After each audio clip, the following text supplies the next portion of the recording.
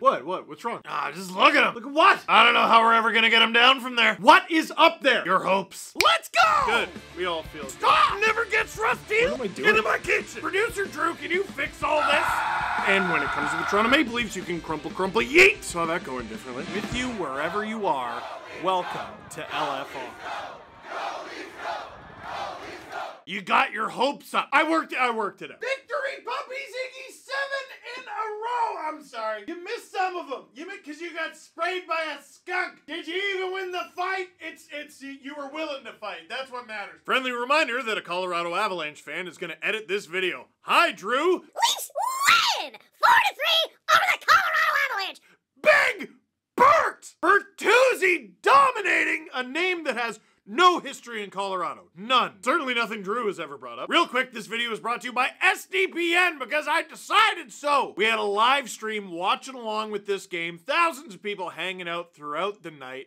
It was awesome. Lots of people became SDP VIPs. You can become a member on our YouTube channel, the SDPN YouTube channel. You can also subscribe as an SDP VIP on Apple Podcasts. And now, freshly, this is new news.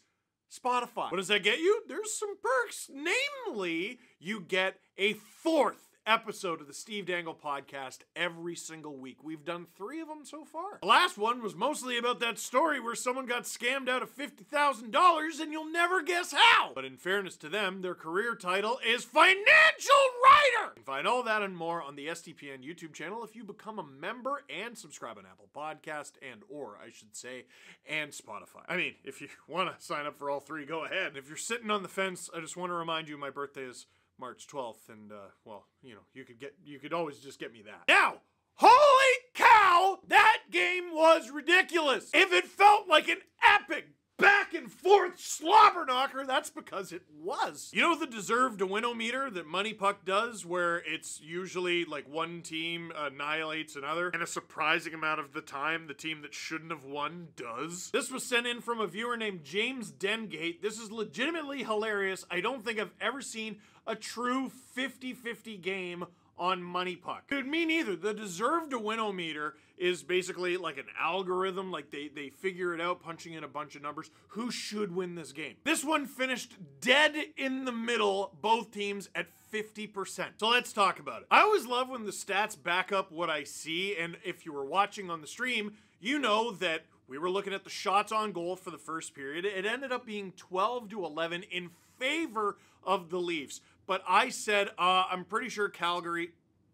Calgary? Calgary. What? Colorado. Anyway, it felt like Colorado had the vast majority of the offensive zone time, and they did. At one point, I saw their advantage was about four minutes. And it's unfortunate that Colorado played such a good first period because this period actually started poorly for the Leafs on a complete accident. Simon Benoit throws the puck over the glass like less than a minute in for a delay a game penalty. Trying to think of the last time the Leafs took one of those. Their power play is frankly not fair and should be illegal. Cale Makar gives it to Nathan MacKinnon who puts it in front absolutely perfectly. And that is, I believe, Mikko Lehkonen.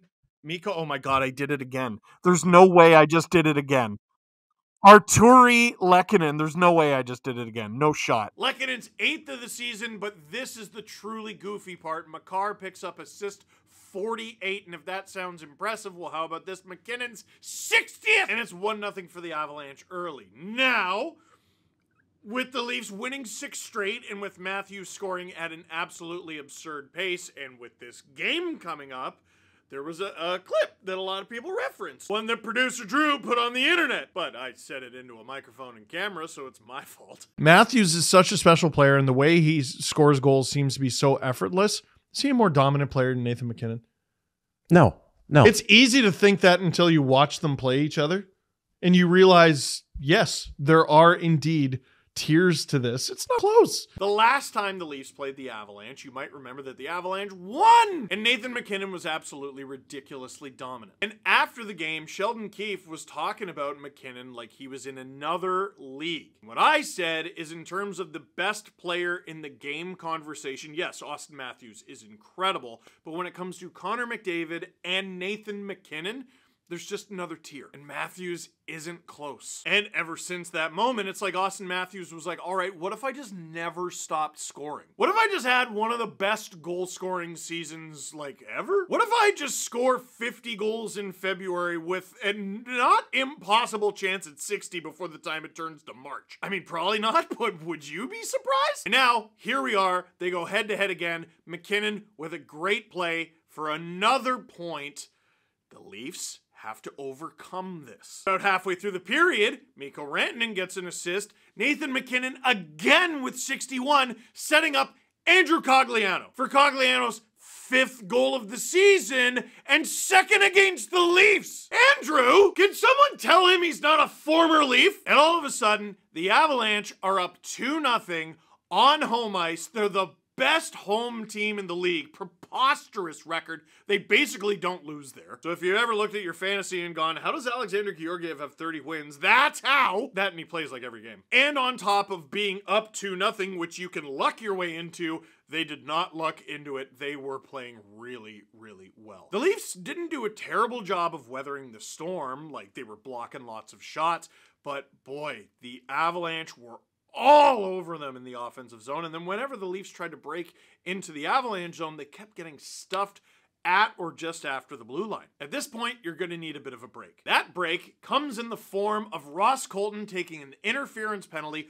on Tyler Bertuzzi. On the ensuing power play, Mitch Marner had some truly goofy plays in this game, like really good ones, but they didn't result in anything. There was one where he cut through the Avs like a hot knife through butter. And if you want to know how good Mitch Marner is, check out the Colorado Avalanche's attention. Here's Mitch Marner with the puck. He's got the full attention of Cale Makar and Devon Toews. That's probably the best pair in the entire NHL. But if you look right here, here's Tyler Bertuzzi all alone. Now, when this game was happening, in my head, I'm like, dude, Mitch, shoot that, please. Because that pass isn't getting through. Here's the darndest thing, it gets through. And Tyler Bertuzzi just taps it home on the power play.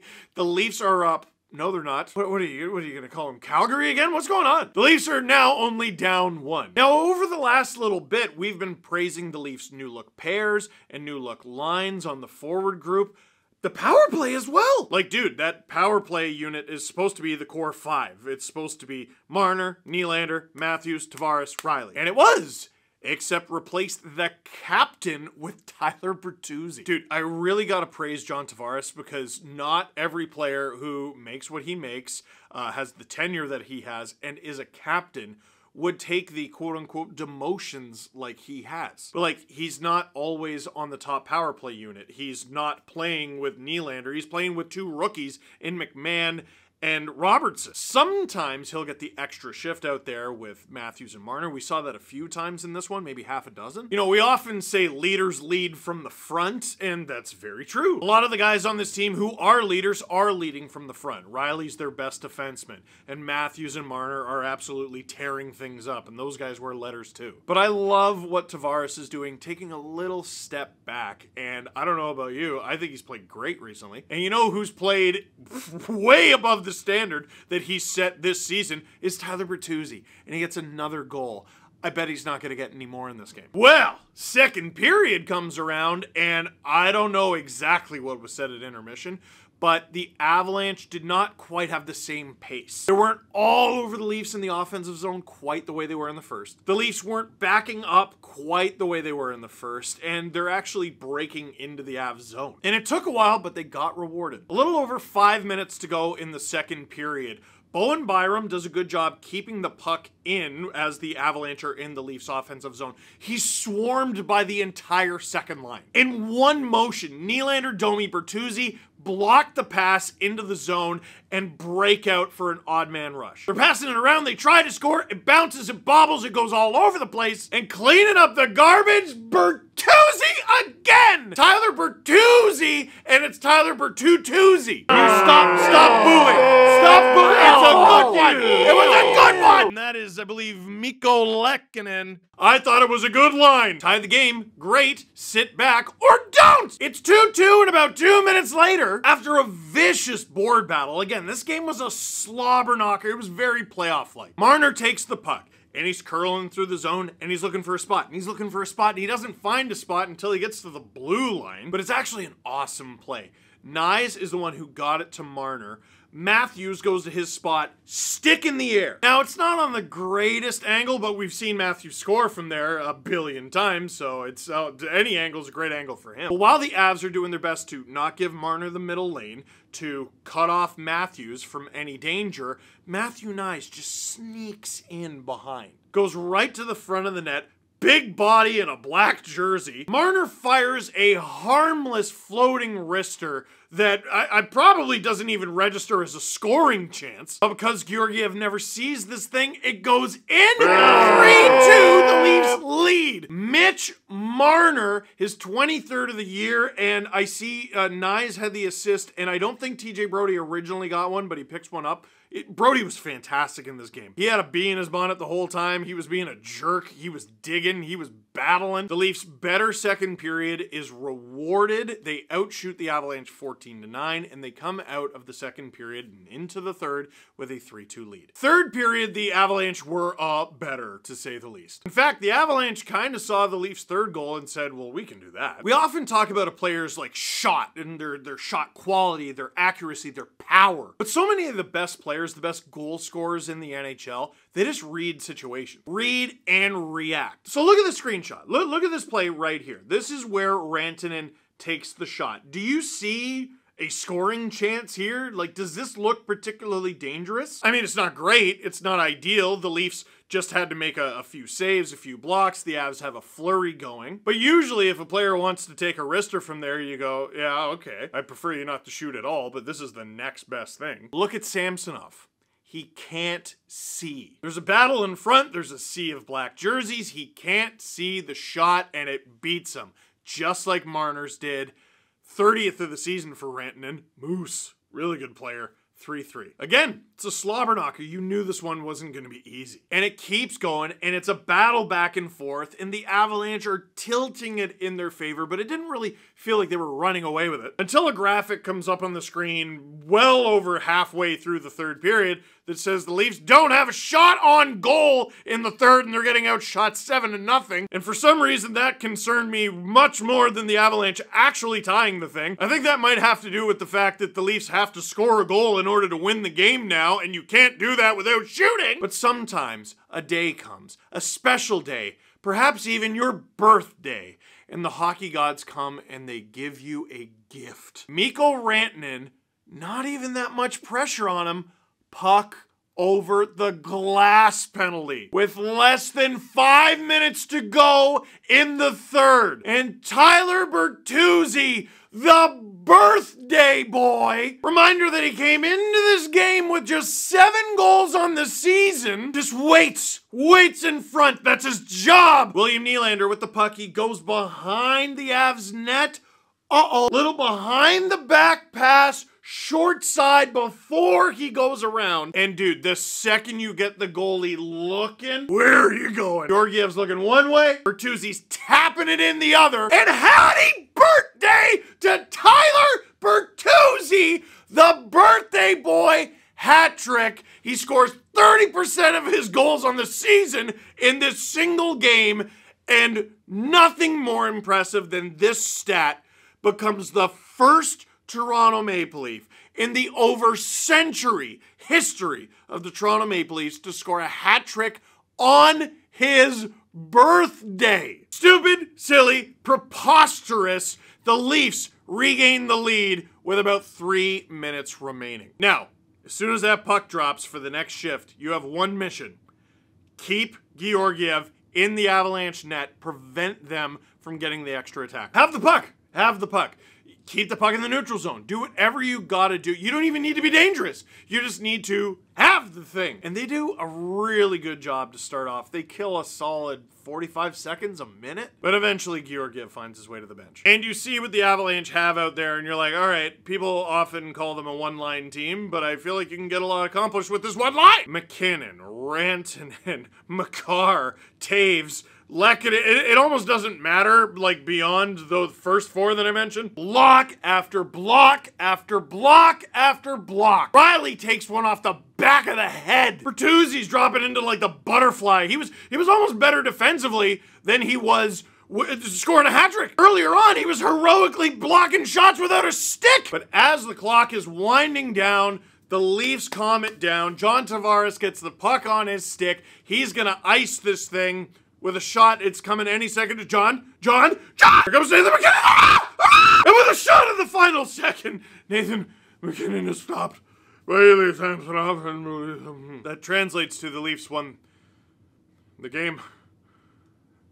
John! John, I just did a thing about how you're a great leader, John. You're a great leader by not even being out there on the ice, and then when you are, you don't even shoot at the empty net. It doesn't have to be a slap shot, John. You don't play for that Ontario team. Dude, a few extra shoutouts in this one. Ilya Samsonov, spectacular. There were a few times he had a little bit of trouble with rebound control. TJ Brodie keeping the puck from trickling between his legs and into the net. There was another one where Samsonov saved it off the goal line. I really can't say enough good things about this guy. Like, he had the worst case of the yips I've ever seen. They were showing his save percentage before the game even began. He's still not even into the 890s. Like, or maybe he is after this game. But he's been so good recently. He's won like nine of his last 10 or something goofy like that. And he's still not recovered. That's how unplayable he was at the beginning of the season. And this, he's back. He's back. Like, it's not like, oh yeah, he's playing well. Oh, he's playing better. No, it's like nothing happened. This is Samsonov from last year. Samsonov from last year was like, mm, capable starter. He can steal you a game or two. He's usually not going to cost you one. That's Ilya Samsonov. And watching him bounce back, like whatever he has done personally, whatever the organization has done for him, uh, full marks. Full, uh, it's the craziest recovery. None of us expected it. Uh, he didn't pick up any goals, but William Nylander, three assists in this one. Very nice. And even though he didn't score a goal, and this kind of melds into a conversation we were having on the podcast recently, the Leafs don't really have a shutdown line, right? And it's been a weakness of theirs, and they haven't been able, like, they don't. What am I trying to say? They don't even really have the capability of building one. Like you make a shutdown line out of shutdown players. So like David Kampf is on there, I think. And then who would you put on it? Gregor's not in the lineup. Like Jarnkrok but he's not even healthy right now. So what it appeared to me the Leafs did as the road team rather than the Avalanche doing it is they just matched up first line versus first line. Maybe that was Jared Bednar throwing MacKinnon out there against Matthews. It, it could be. Like maybe the Avalanche were the ones who decided, well, if we're not going to throw out the shutdown line or at that someone who makes less than $13 million. But for as good as the MacKinnon line was, Marner and Matthews and Knies did their best against them. They picked up a goal as well. I, I really liked their game, even though there were times where uh, they were doing a little more sinking than swimming. Like, was that game perfect? No, it wasn't. But they won. Even though they weren't perfect, they often weren't even the better team, they kept themselves the entire time in a position to win. It reminded me a lot of their gritty wins from the first round against Tampa last year. Like, there were a lot of times in that series, they did not look like the better team. They won. And a lot of you sickos were saying, I can't wait for that series in June. First of all, that would be incredible. Second of all, I think I'd die actually. You're telling me my heart is supposed to handle four to seven games of that? Most high stakes hockey I've ever watched in my entire life? Yeah, I don't know. I don't. I kind of like it here, and by here I mean uh, live questions. This isn't a question; it's just a really good tweet uh, from producer Nick. Nothing makes me happier than producer Drew miserable. What's with those glasses, Nick? I can think of one thing, Nick. Uh, producer Drew miserable on camera because for the final seven minutes or so of the third period, he joined the stream and they lost. Now he's editing the footage for this video and probably not doing anything bad to it. Matthews is such a special player, and the way he scores goals seems to be so effortless. Is he a more dominant player than Nathan MacKinnon? No, no. It's easy to think that until you watch them play each other and you realize, yes, there are indeed tiers to this. It's not close. Speaking of producer Drew, here he is saying stuff. The difference tonight, Avs can't be taking a delay of game penalty with under five minutes left. The Leafs didn't have a shot on goal the first 14 minutes of the third period. Man, does that feel like a critique I've had for the Leafs many times this season? Like, did the Avs play a bad game tonight? No, they didn't play a bad game at all. They were pretty good. Like, they can be proud of the effort. But in a very crunch time scenario, They flubbed it. Mistakes happen and you try to avoid them. But oh, the timing of a mistake can be a killer. And I like this one. Is the biggest deadline acquisition going to be Woll? Uh, well, I think second biggest. Uh, the biggest might be Tyler Bertuzzi. Like, dude, this is the tweet of the night from Nick LaFlame. Leafs trade deadline is their own players getting good. Like, yeah, kinda. Dude, I said it around the time Rielly got suspended for his nonsense with Ridly Greig. Listen, you're not going to win every game. You're not going to have a great effort every night. But it's that time of year where you want to start locking it down and playing playoff hockey. The last seven games in a row, yeah, that's what it's looked like. And it's not even just because they've won all seven games for the first time since 2003, by the way. How is that real? There are players in the NHL younger than that, but the Leafs have won their last seven games because they should. A few of them have been like redonkulous blowouts, but this one, this hard fought nail biter back and forth with an extremely good team who's straight up a cup contender. Oh, yeah. Yeah, yeah. That felt good. So, that is it for this one. Thank you very much for watching. Click like if you like this video. Click subscribe if you really liked it. Tell all your friends.